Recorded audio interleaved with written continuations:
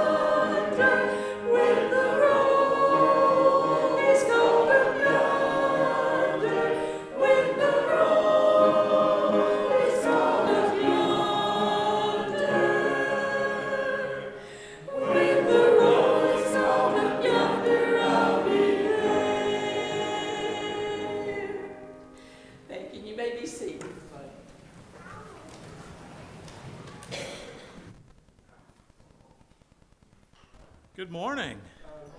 We're doing some things a little bit different today. This is the fifth Sunday of the month, and historically speaking, and speaking from our own tradition with friends, it used to be that most churches, especially rural churches, they didn't have their own pastor they would split a pastor between several congregations. And so uh, it would come out where sometimes you'd have a pastor the first Sunday of every month, and then the rest of them, your elders and others, would provide.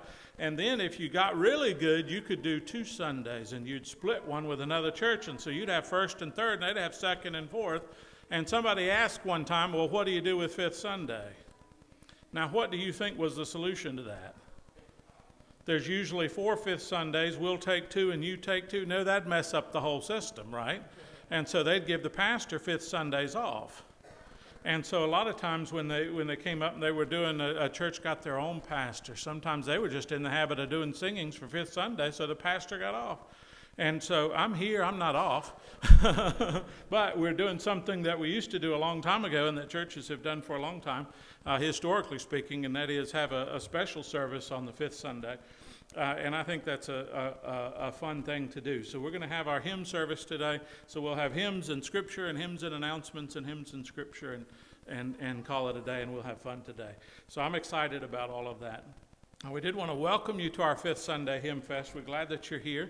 Uh, we see some new faces and some others, so welcome to this place. We're glad uh, that you're here. We do have a few announcements that are in the bulletin and a couple that are not in the bulletin. But if you look at the bulletin, you'll see some things that are going on.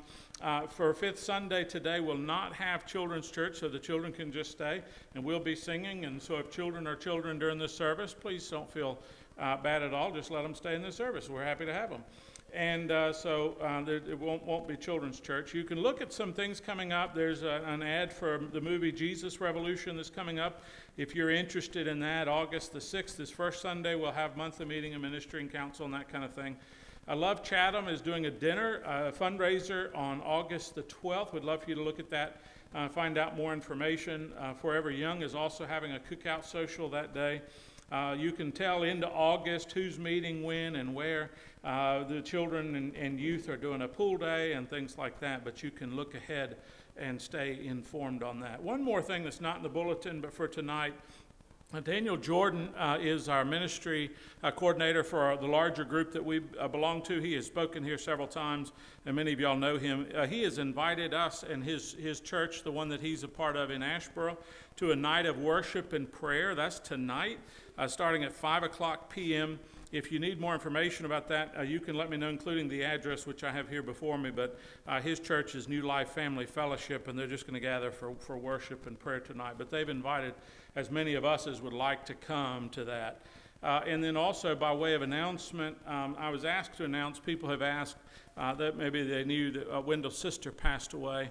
Uh, and we do, uh, this morning I have the, uh, the arrangements to share. There'll be a funeral uh, 2 p.m. tomorrow at Center Methodist uh, with visitation to follow. So the funeral's tomorrow at 2 o'clock p.m.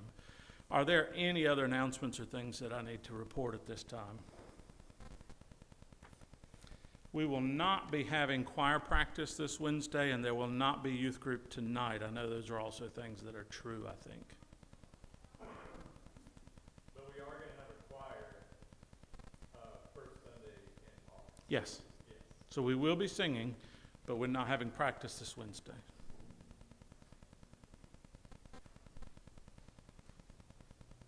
Let's open up for a time of prayer. And I know that uh, the Sunday school class that usually meets and hands us names did not meet. We were meeting in the fellowship hall and eating. So I wonder if we have folks that we would like to pray for this week. Yes.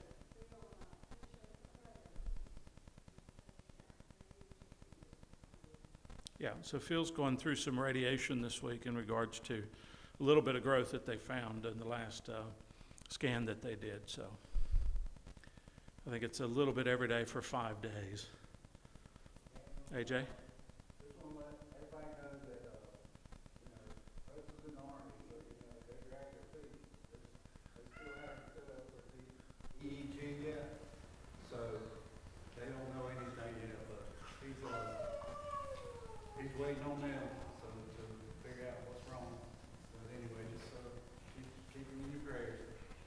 we're continuing to pray for Preston, and he, you know, had that seizure, I guess, a little while back and waiting on all the tests. My uh, son, my oldest son, Alex, and his wife are having another baby.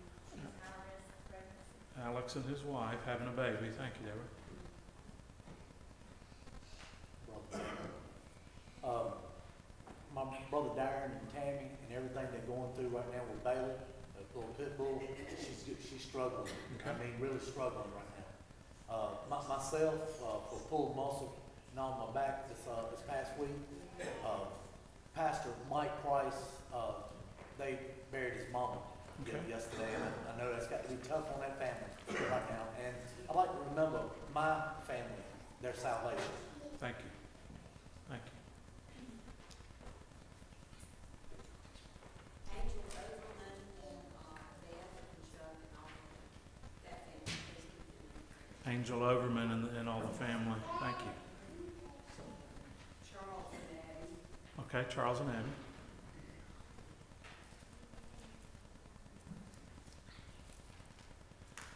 Let's pray. Yes.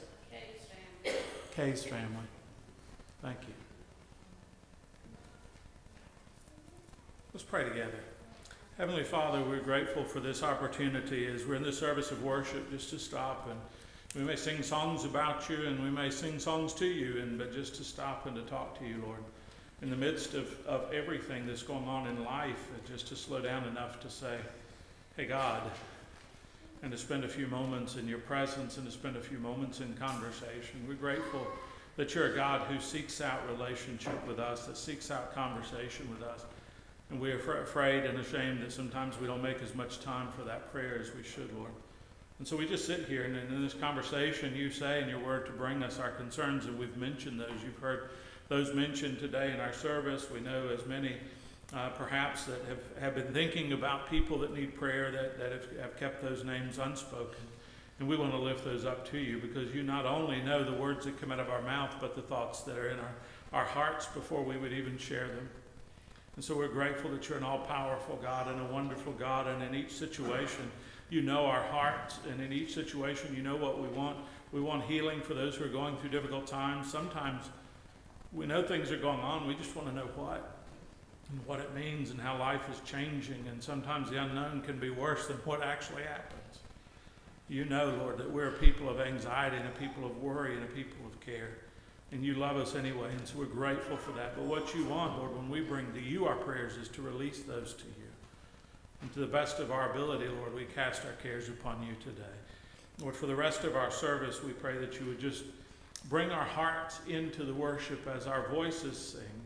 May our hearts sing to you the wonderful words of life that we'll be singing today. We lift up to you as a, as a hymn of worship, Lord, today. And we pray that it will be a sweet smelling fragrance as you reference the songs of your people in the Old Testament that would be pleasing to you today. Continue to be here in our worship, we pray in Jesus' name. Amen.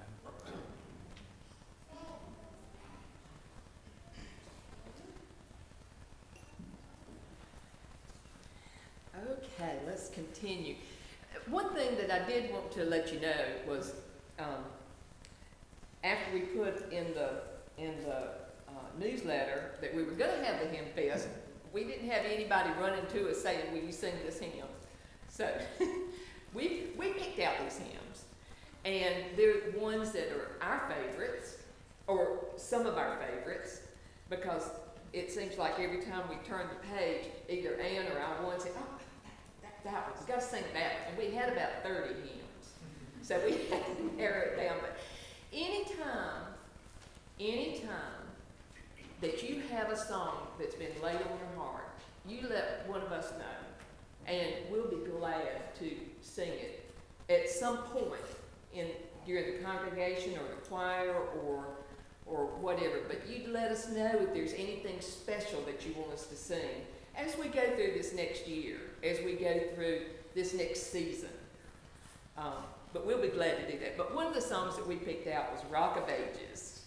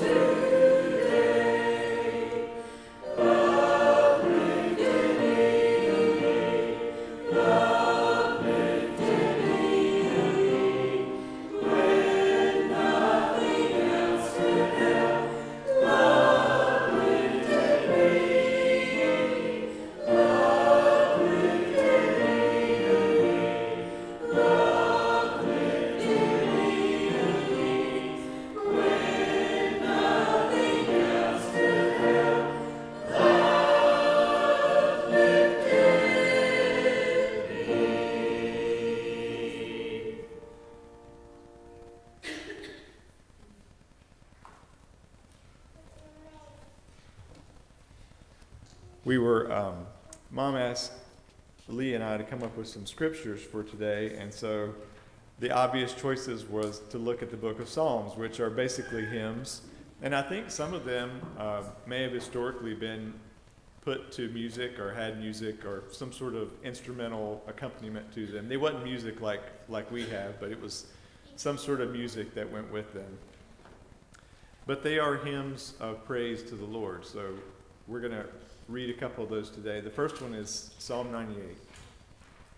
Sing to the Lord a new song, for he has done marvelous things. His right hand and his holy arm have worked salvation for him. The Lord has made his salvation known and revealed his righteousness to the nations. He has remembered his love and his faithfulness to the house of Israel. All the ends of the earth have seen the salvation of our God. Shout for joy to the Lord, all the earth. Burst into jubilant song with music. Make music to the Lord with the harp, with the harp and the sound of singing, with trumpets and the blast of the ram's horn. Shout for joy before the Lord, the King. Let the sea resound and everything in it, the world and all who live in it. Let the rivers clap their hands. Let the mountains sing together for joy. Let them sing before the Lord, for he comes to judge the earth. He will judge the earth in righteousness and the peoples with equity.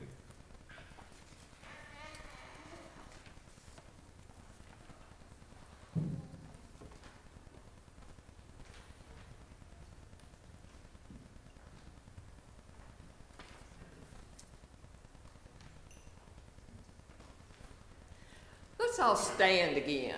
I think that sometimes we can sing songs while we're, we're sitting, and sometimes it's just better if we stand up and, and praise the Lord that way. I've just lost my paper. okay. Um, but the song we're going to sing now is The Old Rugged Cross.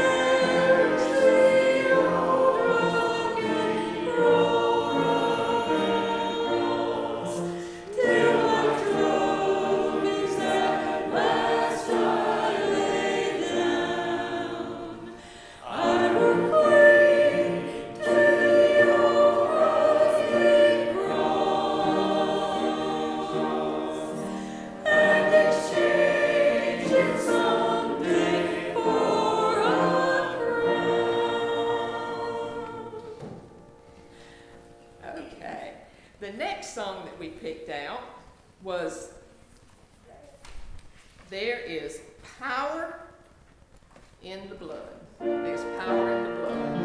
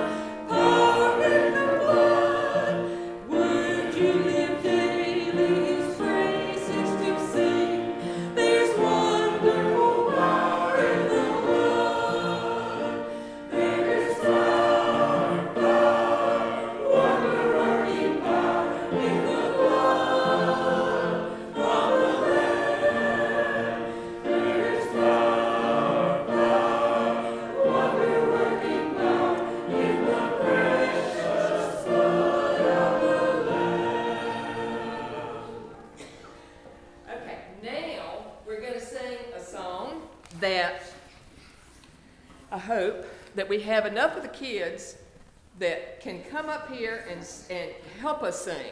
So all, everybody that was in Bible school, you can come up here. We're going to sing This Little Light of Mine. So come on, kids. I need help. Are you going to stand right here? Okay, y'all can stand right here. We- yeah. Okay, so we're going to sing this with Ann's help. We're going to sing this little light of mine. Y'all ready? Okay. Yes, y'all are going to sing too. Everybody's going to sing, but they're going to they're going to help us. They're going to help all of us. so here we go.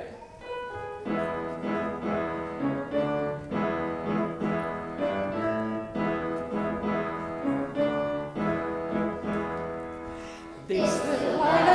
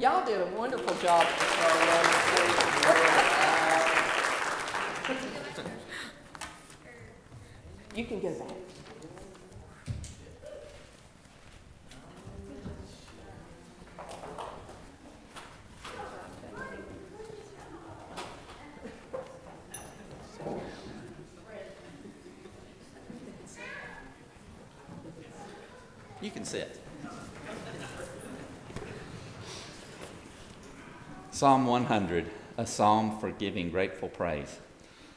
Shout for joy to the Lord, all the earth. Worship the Lord with gladness. Come before him with joyful songs. Know that the Lord is God. It is he who made us, and we are his. We are his people, the sheep of his pasture. Enter his gates with thanksgiving and his courts with praise. Give thanks to him and praise his name. For the Lord is good, and his love endures forever. His faithfulness continues through all generations.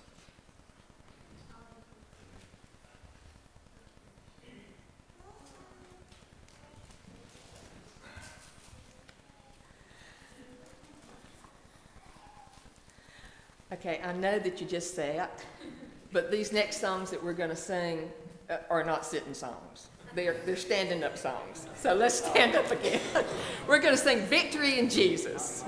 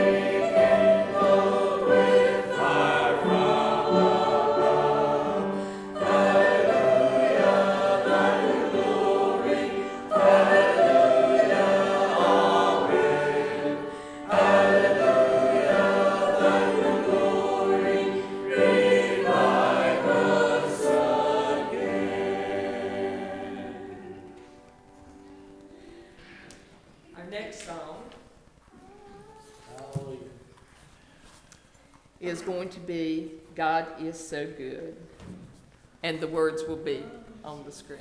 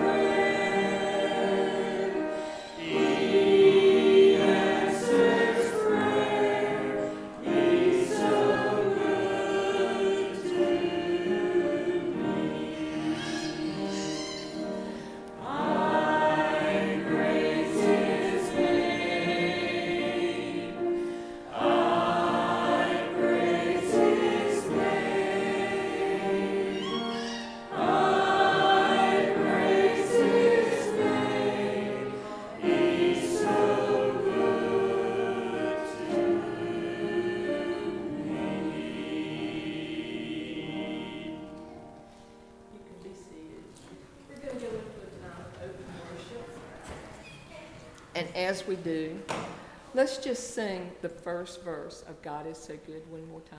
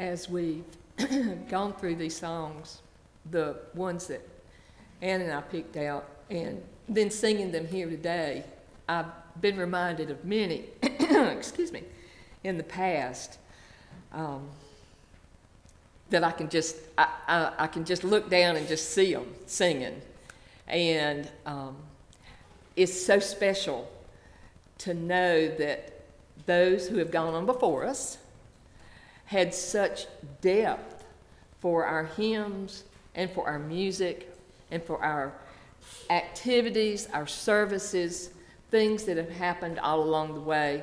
And we've got so much to be thankful for. They've given us such a broad um, base. They've, they've taught us things. Um, we have we remember back. I remember when, when I first started coming to South Fork. It was right after Harry and I got married, and and we had I don't know three or four rows of people at the front who would you know the the ameners there. They would stand up. They would testify. They would just miraculous things, and I thought that was the most wonderful thing ever. You know, to know that somebody was. Um, rejoicing in the fact that they were a Christian. And, and I know that we do that as we travel in our private lives, and, and there's little things that we do that others notice as we go along. And it's just so special, but especially to have them as role models for us. Um, we had people singing in the choir that just gave their entire heart when they sang. We had people sitting out here that gave their entire heart when they sang as well. But uh, there's just so many things that we should be thankful for. We've got, we're just such a blessed church. We're such a blessed community. And um, I, I don't want to ever forget it. And if you think about somebody who was a long time ago, you tell your family about them today. If you can think of a person, you say, you know what? It just brought back to my mind about this person, and how they used to do. Then you tell your family about that so that tradition can go on. But our last song this morning is going to be, if you'll stand, Blessed be the tie. Just the first verse.